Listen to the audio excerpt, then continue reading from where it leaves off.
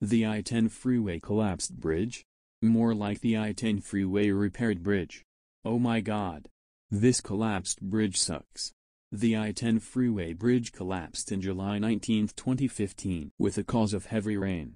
It made me miss registration made me stay in Arizona for one more week, and made me delay my rent. It made drivers go around Joshua Tree National Park.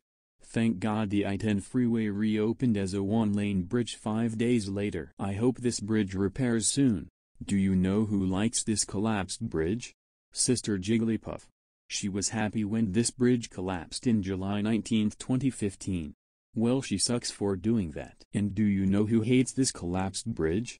Cuddles from Happy Tree Friends. He wishes that the I-10 freeway bridge never collapsed in the first place. The I-10 freeway collapsed bridge sucks. And so does the Notkins. But, if you are a good user and you like this show, please handle my opinion. PBS Kids is 95 bajillion times better than the I-10 freeway collapsed bridge. End of rant. Next rant, Chef Barney.